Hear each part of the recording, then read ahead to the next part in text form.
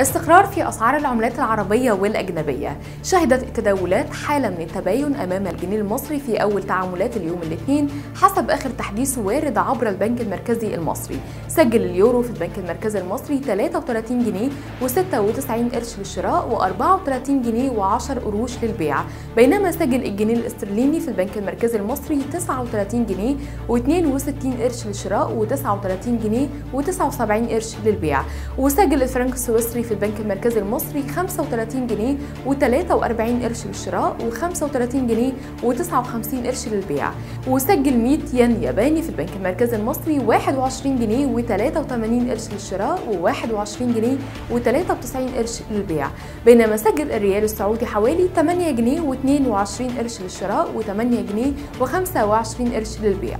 ووصل الدينار الكويتي في البنك المركزي المصري عند 100 جنيه و48 قرش للشراء و100 جنيه و92 قرش للبيع فيما سجل الدرهم الإماراتي 8 جنيه و39 قرش للشراء و8 جنيه و42 قرش للبيع.